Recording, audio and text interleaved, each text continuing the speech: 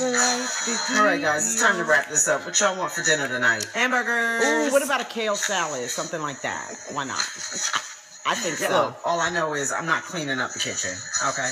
You always gotta come back with something. Why? Because I get tired of having to clean up behind you. She Everybody cleans always up come after back. her Okay. something. We're all over Really? it. Yeah, cause you in the kitchen like Okay. you like you some gourmet chef. Using every bowl.